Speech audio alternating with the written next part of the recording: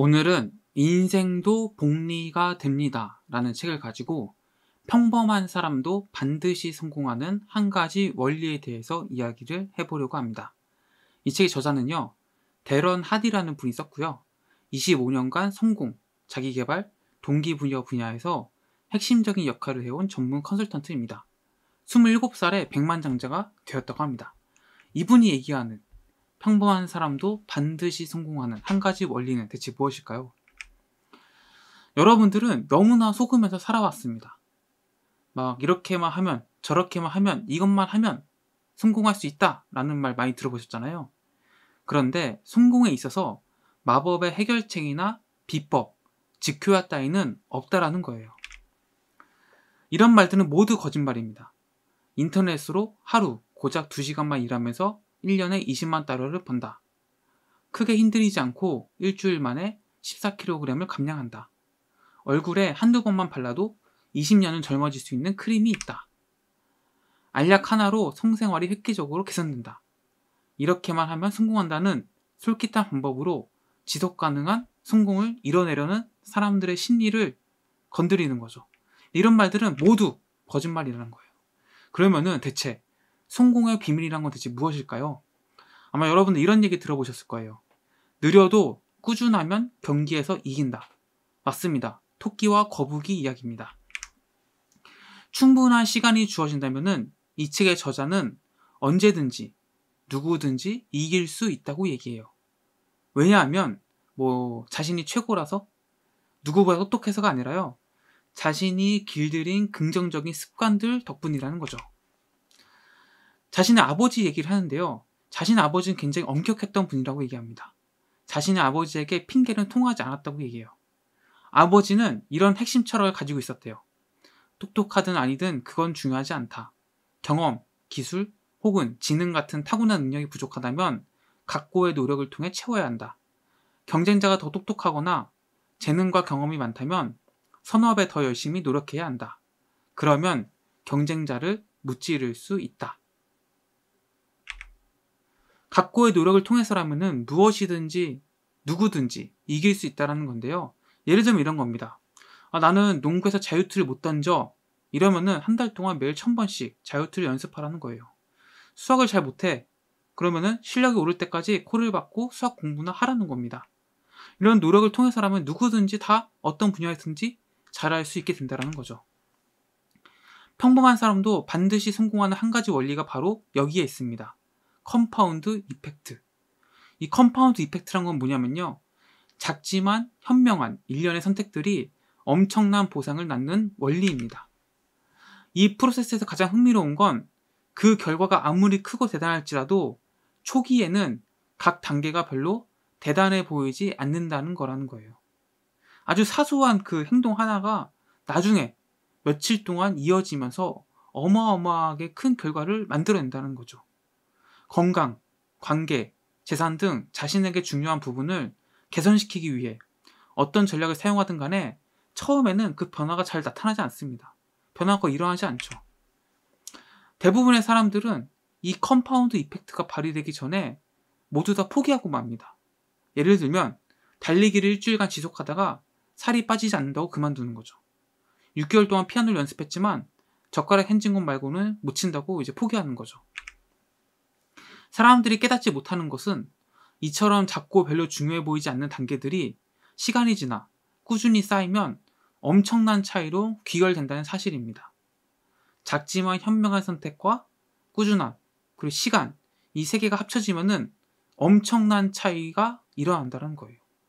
하지만 많은 사람들이 이 시간, 꾸준함, 작지만 현명한 선택하지 못해서 대부분 어떠한 결과도 얻지 못하고 포기하게 된다는 겁니다.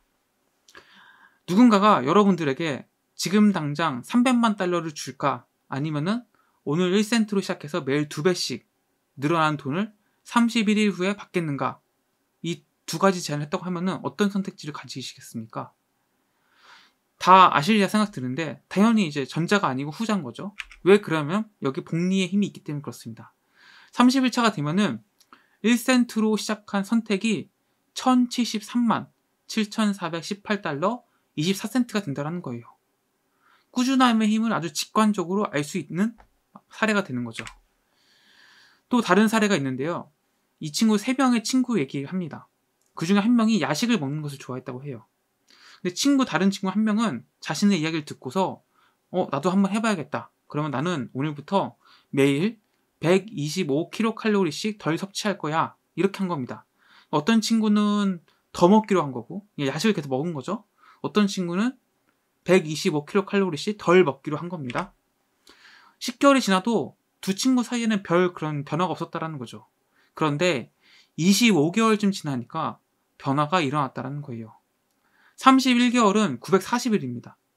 940일 동안 120kcal씩 덜 먹으면은 11만 7,500kcal를 덜 먹게 된 거예요.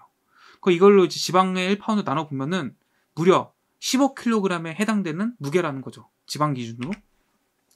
31, 31개월간 유지한 결과 어떻게 되는 거냐?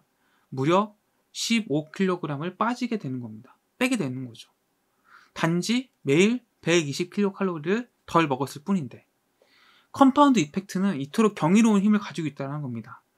적용하기로 한 사람과 방치하기로 한 사람 간의 차이는 점점 커진다라는 거예요. compound effect를 제대로 이해했다면 이제 여러분들은 결과가 즉각적으로 나와야 한다는 그 기대감을 버리셔야 됩니다. 요행을 바라는 기대감을 모두 떨쳐버리시고요. 자기 자신과 약속하는 겁니다. 아, 나는 이런 즉각적인 뭔가 결과를 기대하지 않겠다고. 사람들은 승자의 의기양양한 모습을 보면서 그 뒤에 수많은 패자들을 보지 못합니다. compound effect가 작동하는 원리를 이해한다면 즉효약이나 만병통치약 따위는 갈망하지 않게 됩니다. 왜냐하면 그런 거 없다는 걸 알게 되기 때문에. 화려한 운동선수를 보면요. 거기에는 뼈를 깎는 노력들이 보이기 시작할 겁니다. 다 compound effect를 알게 되면 그렇게 됩니다. 성공에 이르는 유일한 경로는 재미없고 무료하며 따분하고 때로는 힘든 일상적인 훈련이 시간을 따라 측정되는 과정입니다. compound effect가 긍정적으로 작동되도록 만들어야지 여러분들이 꿈꾸는 삶을 살 수 있게 된다는 거예요.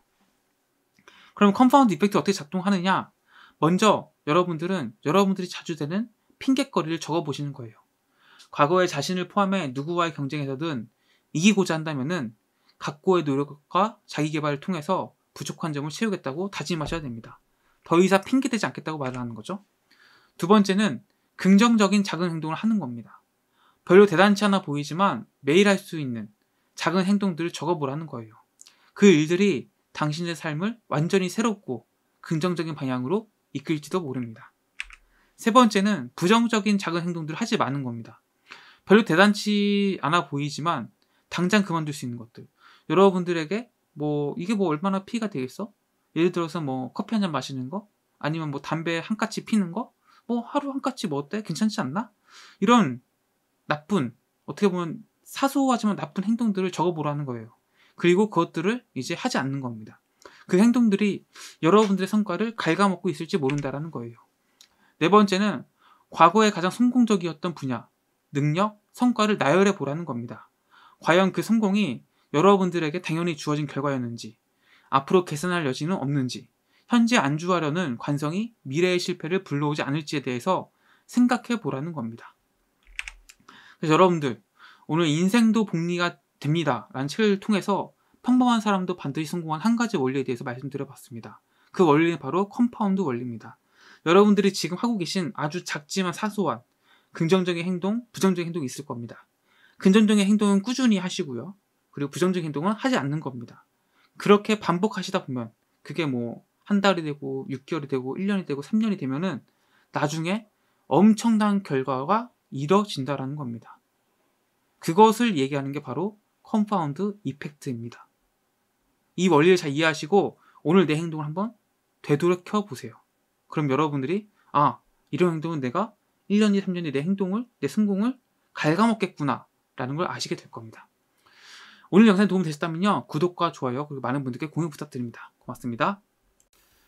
오늘은 인생도 복리가 됩니다. 라는 책을 가지고 나를 개발하는 가장 강력한 전략 한 가지를 소개해 드리려고 합니다.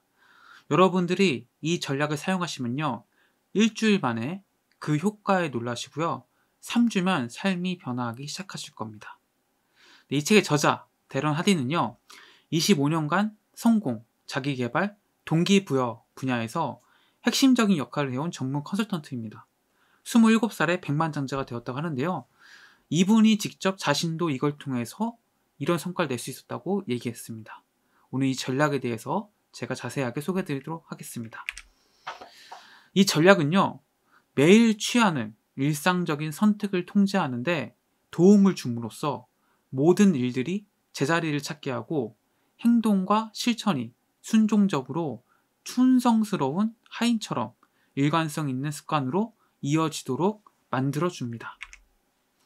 바로 이 순간 여러분들이 해야 될 건 뭐냐? 가장 먼저 해야 되는 거는 여러분들이 성공하고 싶은 영역을 선택하시는 겁니다. 예를 들어서 나는 돈을 많이 벌고 싶다. 혹은 나는 몸짱이 되고 싶다. 혹은 배우자와 좋은 관계를 만들어 가고 싶다. 이런 어떤 특정 분야에서 내가 하고 싶은 그 분야를 선택하셔야 됩니다. 이 선택을 한다는 건 말이죠. 내가 이 분야에서 개선을 하겠다는 의미잖아요. 이 변화를 만들어내기 위해서, 개선을 만들어내기 위해서 가장 먼저 해야 되는 거는 바로 인식하는 겁니다. 내가 지금 혹은 여러분들이 현재 있는 곳에서 원하는 곳으로 가고 싶다면은 일단 내 위치, 내가 지금 어디에 서 있는지부터 확인이 돼야 될 거 아니에요. 그래서 목적지로 이끌어줄 선택이 무엇인지 이것을 인식하는 것이 시작되어야 한다는 거예요.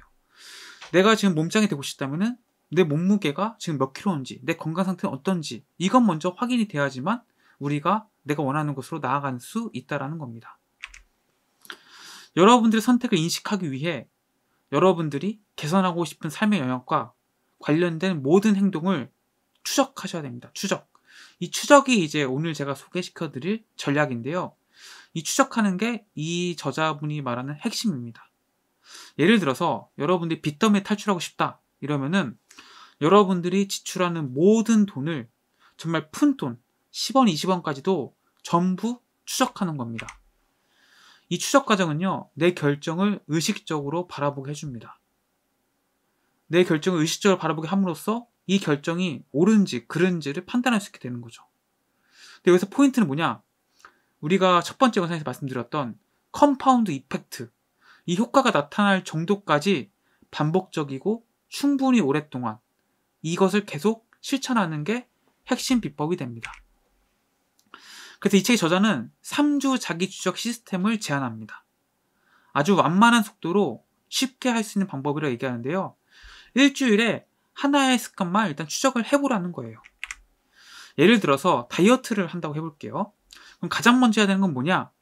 저녁 식사 때 먹은 스테이크와 감자, 샐러드, 그리고 휴게실에서 먹은 샌드위치, 초코바, 그리고 입으로 들어가는 모든 것들을 다 기록하는 겁니다. 내가 먹, 내가 먹은 모든 것들을 다 적기 시작하는 거예요. 기록하는 게 뭐 어렵냐? 그거 한다고 뭐 되냐? 이렇게 생각하고 혹은 이렇게 생각하기 때문에 그 기록을 등한시하는 경우가 많을 겁니다. 그거 한다고 뭐 안될 것 같은데? 이런 생각이 기록을 막는 거죠. 그래서 이 책의 저자는 다짐을 하라고 얘기해요. 다짐을 어떤 식으로 하느냐? 나는 2022년 12월 땡땡일로부터 나의 음식들, 내가 먹는 음식들을 추적할 것이다. 이런 식으로 다짐을 하라는 겁니다. 이런 다짐이 있어야지만 그 사소하다고 이것들을 무시하고 안 하는 일을 피할 수 있다는 거예요. 추적하기는 철저하고 체계적으로 이루어져야 합니다. 또 빈틈없이 꾸준하게 실천되어야 되는데요. 매일 새로운 페이지에다가 날짜를 적고 추적하는 것을 해보는 겁니다. 노트를 한 권, 수첩을 하나 마련하셔가지고 그 제일 위에 날짜를 쓰시고 내가 먹은 것들을 다 쓰기 시작하는 겁니다. 그렇게 일주일만 해봐도 여러분들은 엄청난 변화를 맞이하게 되는데 일주일만 하면 무슨 일이 생기느냐? 충격을 받게 된다는 거예요. 내가 이렇게나 많은 음식을 먹고 있었나? 내가 얼마나 많은 칼로리를 섭취하고 있었는지 또 혹은 뭐 돈을 하시는 분들은 내가 이렇게 많은 돈들을 쓰고 있었는지 이런 현실을 인식하게 되고 깨닫게 된다는 거예요. 이런 상황에서 3주 동안 진행해야 한다면은 아, 내 현실 마주하는 게 힘들잖아요. 그러니까 너무 고통스러워서 안 하고 싶어질 거예요. 하지만 그것을 꾹 참고 3주 동안 해보라는 거예요. 왜? 심리학적으로 3주 동안 해야지만 이게 습관이 된다는 거죠. 그 3주가 지나면 어떤 일이 일어날까요? 첫 주에 느꼈던 충격에서 벗어나서 즐거운 경탄을 체험하게 된다는 거예요. 아, 진짜 내가 이 초코바를 먹어야 될까? 이 초코바를 먹으면 내가 노트에다 적어야 되는데? 이렇게 고민하는 자신의 모습을 발견하게 된다는 거죠. 추적하기를 통해서 현실을 인식하면 예전과는 달라진 자신을 발견하게 됩니다. 또 자신의 삶을 추적하면은 여러분들의 관심은 내 옳은 행동과 그른 행동 중에서 아주 작은 행동들에 대해서 온통 관심이 쏠리기 시작합니다. 그 작고 사소한 일들을 꾸준히 수정하면은 시간이 지난 후에 놀라운 결과를 보게 된다는 거예요. 작은 변화를 일찍 시작할수록 compound effect가 여러분들에게 유리한 쪽으로 작동하는 힘은 점점 강해지기 때문에 여러분들이 목표로 하는 여러분들이 성공하고 싶은 그 분야에서 성공에 점점 가까워지는 것을 여러분들이 느낄 수 있게 된다는 겁니다. 목표를 향해 여러분들을 이끌어줄 작은 실천을 절대로 내일로 미루지 마십시오. 이 compound effect는 하루라도 빨리 시작할수록 그 효과가 점점 커지게 됩니다. 여러분들의 삶은 순간순간 선택으로 만들어지게 됩니다. 이 순간적 선택들이 만들어내는 작은 결과들이 쌓이고 쌓여가지고 여러분들의 삶을 변화시키는 엄청난 힘을 가지게 된다는 거예요. 그래서 이 추적하기, 오늘 제가 소개시켜드린 이 추적하기를 통해서 여러분들이 뭐 돈도 좋아요. 다이어트도 좋습니다. 일단 노트 수첩 하나 마련하셔가지고 내가 좀 몸무게를 감량하고 싶다. 이러면 노트에다가 제일 위에 날짜 쓰시고 가져면 다짐을 먼저 하셔야겠죠. 2022년 몇 월 며칠 뭐 다이어트 추적 이렇게 쓰시고 나는 이제 추적을 시작한다. 이렇게 선언을 하시고 이제 기록을 해 나가시는 겁니다. 입으로 들어가는 모든 것들은 수첩에 적으시는 거예요. 그럼 일주일 동안 아 내가 이렇게 많이 먹는 거나 먹, 먹, 먹고 있었구나 이것을 이제 깨달으시고 충격을 받으시고 3주 동안 이제 이걸 계속 하다 보면 습관이 되면서 어 내가 지금 이걸 먹어 꼭 먹어야 될까?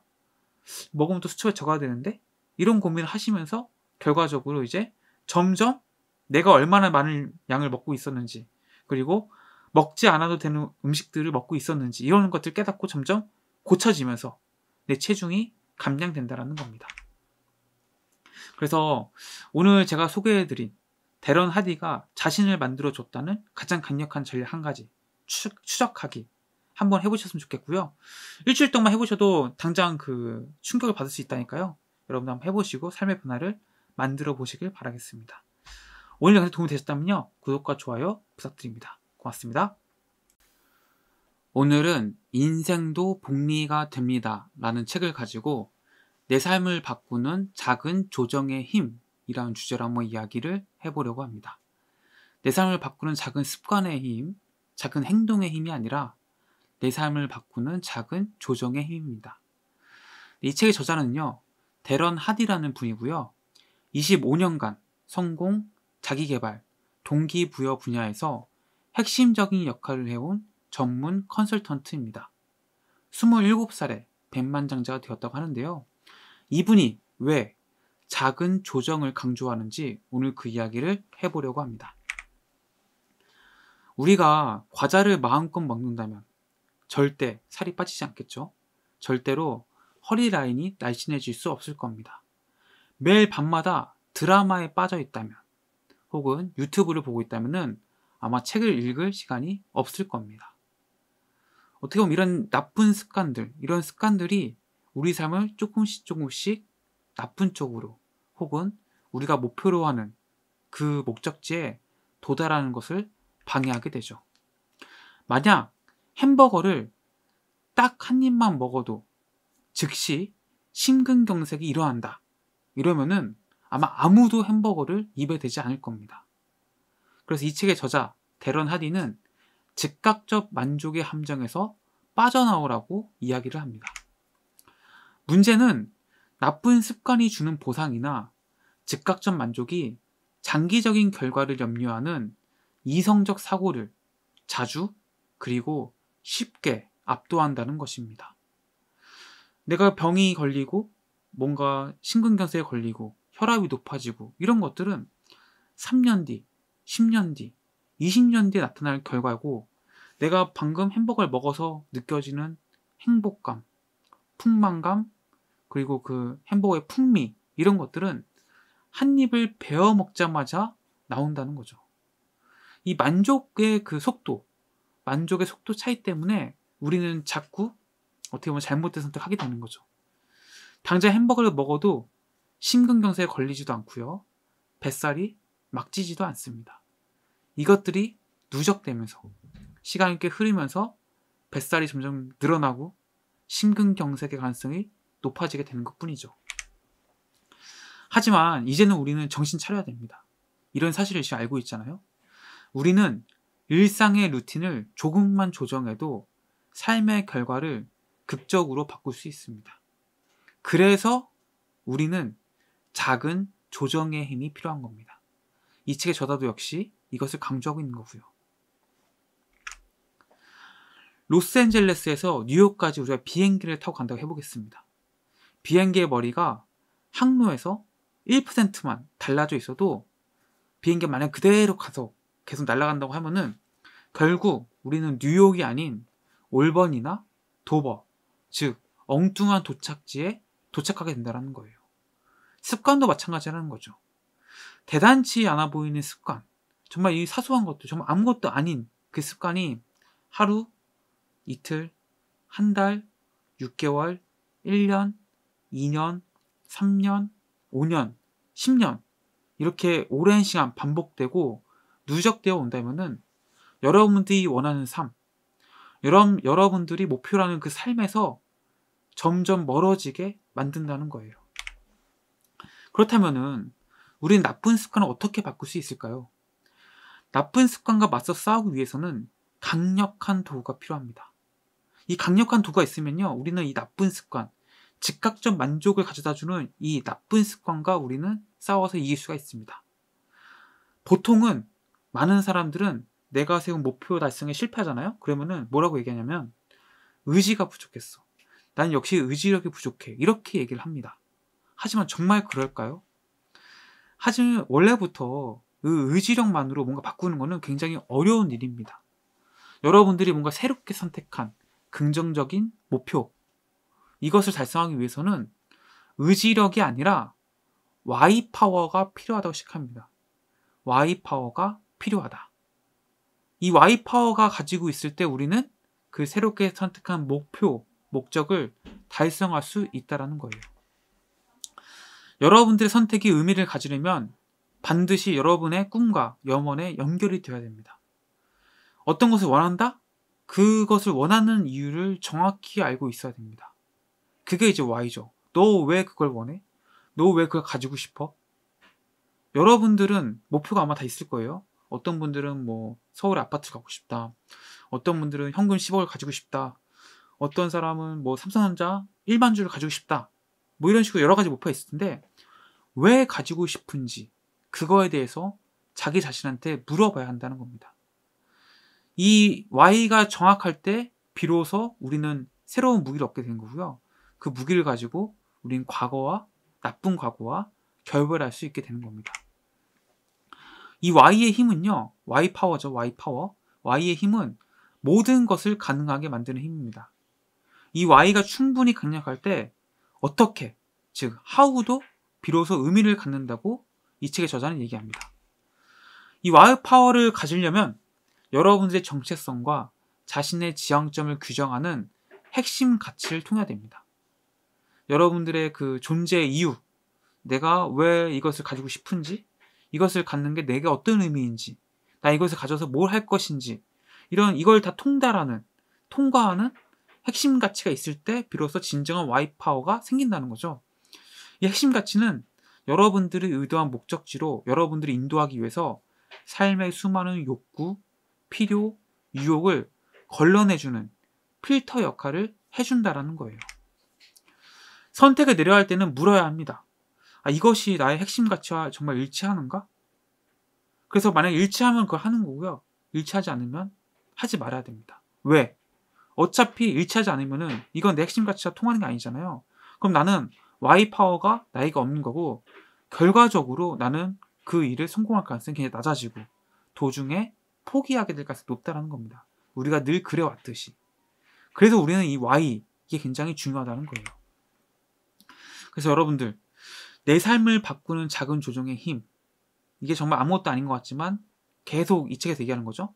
시간이 흐르면서 추적되고 쌓이면은 이것이 인생에서 어마어마한 차이로 만들어준다. 근데 이 작은 조정조차도 쉽지 않다는 거죠. 내가 햄버거를 먹던 거를 안 먹는 거. 정말 삶에서 정말 작은 거일 수 있는데 이거 하나 하기가 힘들다는 거죠. 왜 힘들다고 했죠? 우리는 즉각적인 만족을 원하기 때문에. 당장에 뭔가 위협적인 게 없으면은 즉각적인 만족을 선택할 수 있도록 우리 유전자가 원한다는 거죠. 그러다 보니까 우리는 계속 잘못된 줄 알면서도 계속 햄버거를 먹는 그런 선택을 하게 된다는 거죠. 그래서 우리는 작은 조정의 힘이 필요하다는 겁니다. 이 작은 조정의 힘을 진정으로 발휘하려면 뭐가 필요하다고요? Y 파워. 왜 내가 햄버거를 먹지 않아야 되는지. 이 진정한 Y가 생겼을 때 우리는 Y 파워를 갖게 되고요. 이 파워를 가지고 우리 이제 새로운 삶을, 새로운 목표를 달성할 수 있게 된다는 겁니다. 그래서 여러분들 이 영상 보시고요. 지금 당장 내가 살고자 하는, 내가 꿈꾸는 삶을 뭐 달성하고 이루는 데 있어서 방해가 되는 정말 작은 행동, 그걸 한번 찾아보세요. 작은 찾아보시고 내가 이것을 어떻게 좀 바꿔볼까? 햄버거를 만약에 내가 매일 먹었다 그러면 이틀 한 번씩만 먹어보자. 아니면은 일주일에 한 번씩 먹었다 치면 2주에 한 번씩 먹어보자. 이런 식으로 조금씩 조정해 보는 겁니다. 이 작은 조정의 힘이 결과적으로 여러분들 인생을 완전히 바꿔놓을 것입니다. 여러분 오늘 영상에 도움 되셨다면요. 구독과 좋아요 그리고 많은 분들께 공유 부탁드립니다. 고맙습니다. 오늘은 인생도 복리가 됩니다. 라는 책을 가지고 목표가 달성되는 원리에 대해서 이야기를 해보도록 하겠습니다. 이 책의 저자는요, 대런 하디라는 분이고요. 25년간 성공, 자기개발, 동기부여 분야에서 핵심적인 역할을 해온 전문 컨설턴트입니다. 27살에 백만장자가 되었다고 하는데요. 이분이 이야기하는 어떻게 하면은 목표가 달성될 수 있는지 그 방법에 대해서 한번 구체적으로 이야기를 해보도록 하겠습니다. 우리가 지금까지 compound effect에 대해서 이야기를 계속 했었죠. 시간이 지나면서 점점 복리 효과가 나타나는. 그래서 아주 사소한 것이라 바꾸면은 그 시간이 지나면은 1년 뒤, 3년 뒤, 5년 뒤에는 어마어마한 변화로 이어지는 compound effect에 대해서 이야기해 봤습니다. compound effect를 잘 이해하고 잘 적용하더라도 애초에 여러분들이 목표를 잘못 세우면은 다 부질없습니다. 그죠? 잘못된 목표를 세우는데 그 과정의 노력이 무슨 소용이 있겠습니까? 그래서 이 책의 저자는 여러분들의 목표가 무엇인지를 묻습니다. 여러분들은 오직 여러분들이 찾는 것만을 보고 경험하고 얻을 수 있게 됩니다. 무엇을 찾고 싶은지 알지 못하면은 결코 그것을 얻지 못하게 됩니다. 인간은 천성적으로 목표를 추구하는 생물이거든요. 그래서 항상 그 목표 지향적인 생각을 하게 되어 있습니다. 여러분도 잘 생각해 보세요. 내가 진짜 갖고 싶은 거, 되고 싶은 거, 하고 싶은 게 무엇인지 아마 대부분은 다 목표가 있을 겁니다. 이 목표를 설정한다는 건요. 여러분들이 찾아야 하고 집중해야 할 새로운 대상을 뇌에게 알려주는 겁니다. 너 이제부터 사슴을 잡을 거야. 너 이제부터 사과를 찾을 거야. 이런 식으로 목표가 설정되는 거죠. 지금 당장 종이를 꺼내시고요. 거기에 여러분들의 중요한 목표, 삶의 중요한 목표 써보세요. 너무 한 가지 측면에 치중된 그런 목표보다는 뭔가 삶의 균형을 맞추는 그런 목표가 좋다고 이 책의 저자는 얘기합니다. 그렇게 목표를 여러분들이 정하시면 이제 이것을 달성할 것인가를 고민해야겠죠. 이 책의 저자는 목표 달성 공식을 우리에게 알려줍니다. 그 목표 달성 공식은 무엇이냐? 선택 더하기 행복 더하기 습관 더하기 복리 효과는 목표 달성이라는 겁니다. 여기서 선택이라는 것은 결정을 얘기하고요. 행동은 실천을 얘기하고 습관은 실천을 반복하는 걸 얘기하고 복리 효과는 시간을 이야기합니다. 그래서 여러분들이 뭘 할지 결정을 하시고 거기에 맞는 행동을 즉 노력을 하시고 그걸 지속적으로 반복하시면은 일정 시간이 지나면은 목표는 달성되게 되어 있다는 거죠. 수첩을 꺼내서 여러분들의 가장 중요한 목표 세 가지를 적어보세요. 그리고 이 목표를 달성하는데 내가 지금 하고 있는 행동들 중에서 방해가 되는 나쁜 습관들을 적어보세요. 이 습관과 행동은요, 절대 거짓말을 하지 않습니다. 여러분들이 만약에 여러분들의 말과 행동, 이게 서로 일치하지 않고 다르다면은 이 책의 저자는 말을 믿는 것이 아니라 행동을 믿겠다고 얘기했습니다. 여러분들이 하는 것이 결과적으로 결과물과 연결될 수밖에 없어요. 그래서 지금 내가 무슨 행동을 하고 있는지, 이 행동이 내 목표 달성에 도움이 되는지 안 되는지를 직접 탐색해보고 생각해보는 시간이 필요하다는 거죠. 그렇게 나쁜 습관을 찾으면은 이 나쁜 습관도 없애야 되거든요. 목표에 방해가 되는 나쁜 습관을 제거하셔야 됩니다. 여기에 대해서 다섯 가지 기술을 알려줍니다. 첫 번째, 여러분들을 움직이는 트리거를 찾아라. 내가 술을 끊고 싶다 이러면은 내가 누구랑 같이 있을 때 주로 술을 마시는지 이런 거를 살펴보시고 그 사람 만나지 말라는 거죠. 내가 단 것을 먹는다? 내가 언제 단 게 땡기는지 이거를 잘 살펴보시고 그 시간대에 뭐 다른 집중할 만한 잠을 잔다거나 차라리 이런 것들을 해보시라는 거죠. 그리고 여러분들의 스트레스, 피로, 분노 이런 최악의 습관들을 유발하는 감정은 어떤 건지 살펴보시고 그 감정을 느끼지 않도록 피하셔야겠죠. 이런 식으로 여러분들을 움직이는 트리거를 찾으라는 겁니다. 두 번째는 집을 청소하라라고 얘기합니다. 이건 말 그대로 집을 쓸고 닦으며 청소하라는 의미인데요. 내가 만약에 술을 끊는 게 목표다. 이러면은 집안에 술병을 술 한 방울도 남겨두지 말라는 겁니다. 이런 식으로 뭔가 환경에, 환경에 있어서 내 목표의 달성에 방해가 되는 그런 것들을 제거하라는 거죠. 세 번째, 다른 습관으로 대체하라. 이건 이제 좀 더 나은 습관으로 바꾸라는 건데, 콜라를 만약에 내가 좋아한다? 근데 콜라를 끊고 싶어요? 이러면은 냉장고에 탄산수를 넣는 거죠. 탄산수를 많이 먹겠죠, 그럼? 탄산수 같은 걸 넣어서 콜라가 먹고 싶을 때 탄산수를 마시라는 겁니다. 네 번째는 서두르지 말고 서서히 적응하라는 겁니다. 오랫동안 뿌리 박힌 습관이라면요. 그 습관이 발생하지 않는 상황이 익숙해질 때까지 작은 단계를 서서히 밟아 나가셔야 됩니다. 예를 들면 내가 커피를 끊는 게 목표다. 그러면은 일단은 커피는 보통 카페인 때문에 나쁘다고 하잖아요. 그러니까 일단 디카페인 커피를 절반으로 먹어보는 겁니다. 매일 만약에 커피를 먹는 사람이라면은 월수금은 디카페인을 마시자. 이런 식으로 서서히 뭔가 새로운 습관들, 변화를 만들어 보라는 거죠. 다섯 번째는 무작정 뛰어들어라는 겁니다.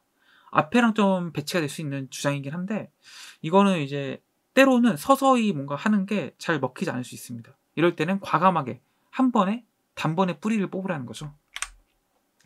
이렇게 나쁜 습관을 제거하는데 성공했다면은 여러분들이 좋은 습관을 장착하셔야 됩니다. 그럼 이 좋은 습관은 어떻게 장착할 수 있을까요? 좋은 습관을 장착하는 여섯 가지 기술이 있습니다. 첫 번째는 성공의 조건에 최적화라는 겁니다. 내가 만약 콜라 중독이다. 콜라를 끊고 싶다. 이러면은 냉장고에서 콜라 다 빼고 거기에 탄산수를 다 넣는 거죠. 이러면은 내가 콜라를 먹고 싶어도 못 먹고 콜라 먹고 싶을 때 탄산수로 대체 만족을 할 수 있겠죠. 두 번째는 뺄 셈이 아니라 덧셈으로 생각하라는 겁니다. 내 인생에서 무엇을 빼야 할까 이걸 고민하기보다 그 빈자리에 무엇을 집어넣을지를 고민하라는 겁니다. TV 보면서 시간 낭비하는 습관을 고치고 싶다면은 그 시간에 다른 취미 활동이나 혹은 아이들과 놀아준다든지 이런 새로운 활동들을 할 것을 고민하라는 겁니다. 이게 훨씬 더 나쁜 습관을 제거하는 데 도움이 된다는 거죠. 세 번째는 결심을 주위에 널리 알리라는 겁니다. 나 이제부터 술 끊을 거야. 나 이제부터 담배 안 필 거야. 이 결심을 널리 알리라는 거죠. 물론 안 됐을 때 조금 쪽팔릴 수 있지만 그 내가 선언을 함으로써 내 책임감이 더 강해지고 그 행동을 더 오랫동안 지속할 가능성이 높다라는 거죠. 네 번째는 성공 파트너를 찾으라는 겁니다. 새로운 습관이 자리 잡도록 도와줄 여러분들에게 책임감을 유지시켜줄 사람.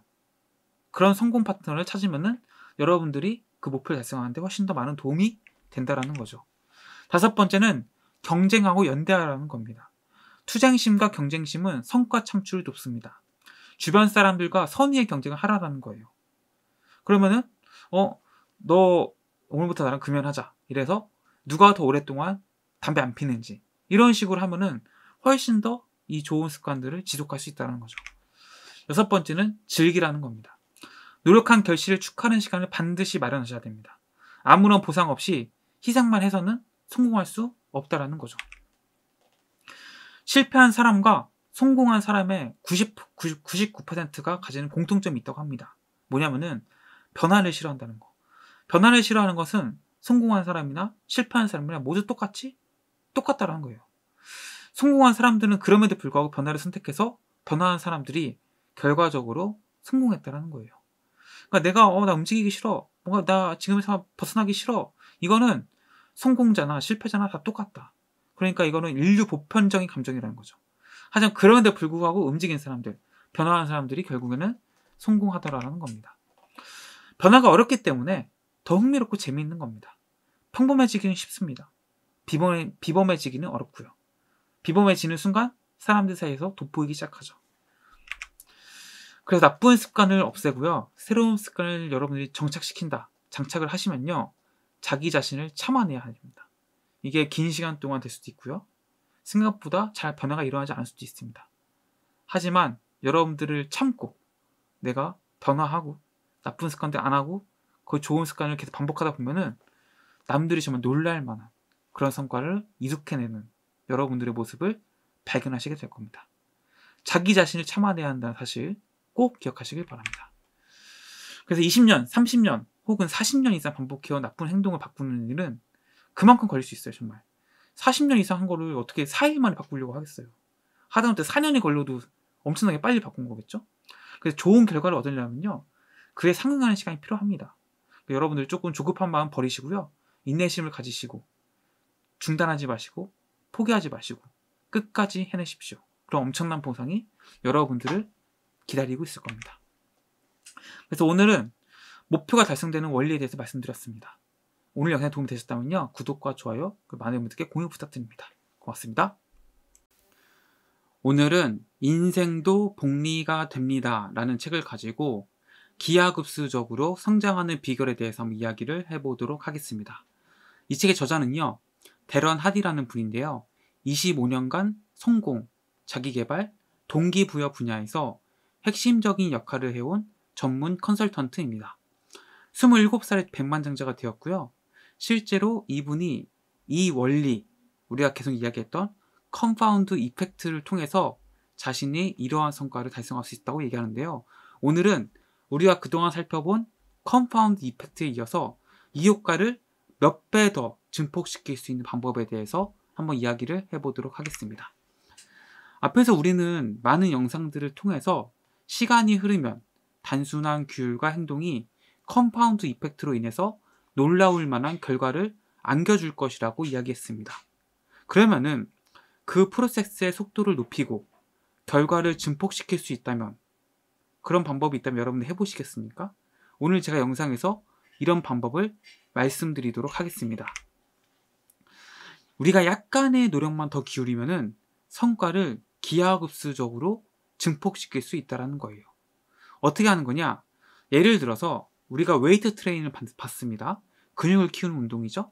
그래서 하루에 12번씩 뭐 무거운 아령을 들기로 했어요. 이걸 계속 반복해서 일주일, 한 달, 두 달, 세 달, 1년을 하면은 팔뚝이 굉장히 두꺼워지고 근육이 생길 겁니다. 엄청난 결과가 이어지는 거죠. 그런데 이 12번에서요, 우리가 추가적으로 12번을 다 하고, 그러니까 하기로 한 만큼의 분량에다가 조금만 더 하면은 효과가 몇 배 더 증폭된다는 거예요. 바로 여기에 기하급수적으로 성장하는 비밀이 숨겨져 있습니다. 제일 처음에 어, 이 영상 제일 처음에 이 책의 영상을 리뷰를 다룬 제일 첫 영상을 보시면은 제가 1센트의 마법을 말씀드렸어요. 매일 2배씩 1센트가 늘어날 경우에 우리가 얼마나 큰 돈을 벌게 되는지. 그런데 거기서 만약에요, 우리가 일주일에 한 차례만 더 두 배씩 늘릴 수 있다면은 1천만 달러가 아니라 1억 7천만 달러라는 어마어마한 돈을 가질 수 있게 된다는 거죠.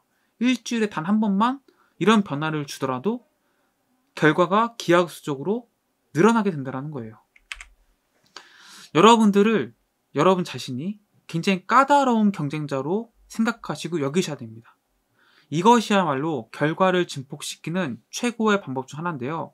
여러분들이 뭔가 새로운 일을 도전하시고 그것에 대한 compound 효과를 이해하시고 적용하셔서 긴 시간, 오랫동안 그 복리 효과를 누리실 수 있습니다.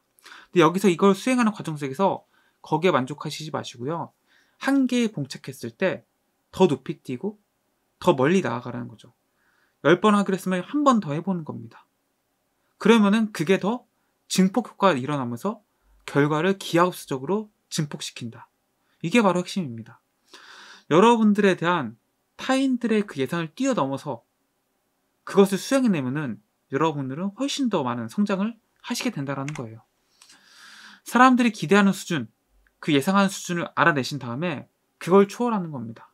아무리 사소한 것이라도요, 그렇게 하는 순간, 아니, 사소한 것일수록 그렇게 하면은 더 다른 결과, 더 큰 결과가 여러분들에게 일어나게 된다는 거예요. 고급 백화점 체인인 노드스트롬이라는 사례가 나옵니다.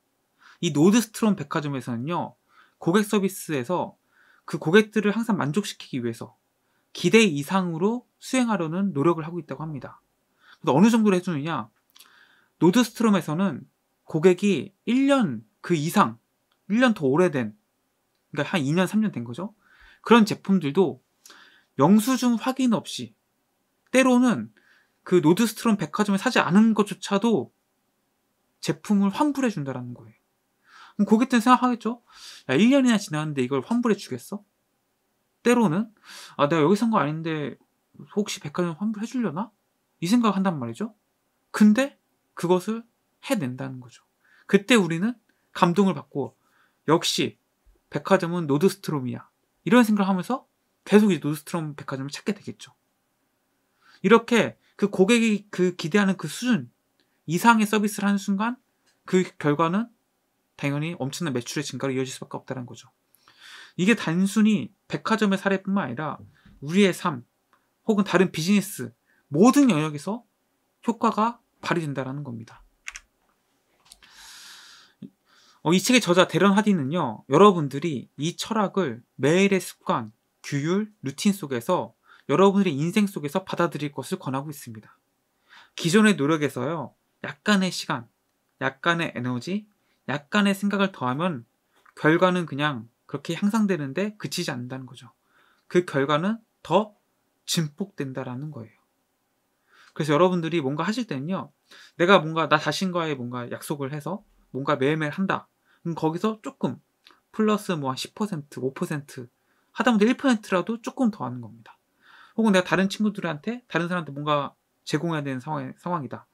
뭔가 서비스를 해야 된다. 이랬을 때는 그들이 기대하는 것보다 조금 더 많이 조금 더 높은 수준으로 조금 더 뭔가 그 시기상 놀라움을 줄 수 있는 그런 시기에 뭔가 해주면은 그때 받는 그 기쁨과 감동, 놀라움은 몇 배가 더 증폭돼서 줄 수 있다는 겁니다. 그들에 나타난다는 거죠. 그래서 이 기하급수적 성장하는 비결에 대해서 여러분들이 한번 생각해 보시면 좋겠어요. 아주 작은 추가를 통해서 평범함이 비범함이 됩니다. 여러분들이 여러분이 모든 인생, 인생의 모든 영역에서 좀 더 멀리 갈 수 있는 곳, 자신을 좀 더 밀어붙일 수 있는 곳, 좀 더 오래 버틸 수 있는 곳, 여기서 증폭의 기회를 발견하시라는 겁니다. 여러분들이 기대보다 더 잘해낼 수 있는 영역은 어디인지 한번 생각해 보세요. 전혀 예상치 못한 곳에서 결과를 만들어낼 수 있는 때, 혹은 영역, 여기는 어떨까? 그런 기회를 최대한 찾아내시라는 겁니다. 그러면 여러분들이 이뤄내는 그 성취의 속도와 수준에 훨씬 더 가파르고 훨씬 더 기하급수적인 성장을 맛보실 수 있고요. 그리고 여러분 주변 사람, 여러분들 아는 모든 사람들이 여러분들에게 굉장히 여러분들에게 굉장히 놀라게 될 거라는 거예요. 그래서 인생도 복리가 됩니다. 라는 책을 가지고 리뷰해봤는데요. 오늘까지 해서 이제 이 책은 모두 리뷰가 끝났습니다. 여러분 이 책을 읽으시면서 어떤 생각이 드셨나요? 저는요, 이 꾸준히 하는 것의 힘, 정말 매일같이 하는 것의 힘, 그것을 다시 한번 느낄 수 있었던 그런 이제 책이었고요. 꾸준히 하면은 결과가 나타납니다. 기하급수적으로 증가가 나타나고요. 꾸준히 하는 과정 속에서 단순히 그것이 타선에 적는 것이 아니라 거기에 조금만 더, 조금만 더 하시면은 거기에 훨씬 더, 훨씬 더 몇 배가 더 증가한 효과, 결과를 보실 수 있다는 겁니다. 여러분 이 책을 한번 읽어보시고 내가 인생에서 아주 사소한 것, 아주 작은 것을 한번 조정해 보면서 이 compound effect를 한번 몸소 느껴보시면서 삶의 변화를 만들어 가셨으면 좋겠습니다. 이 책의 리뷰가 좋아하셨다면요. 좋아요와 구독 그리고 많은 분들께 공유 부탁드립니다. 고맙습니다.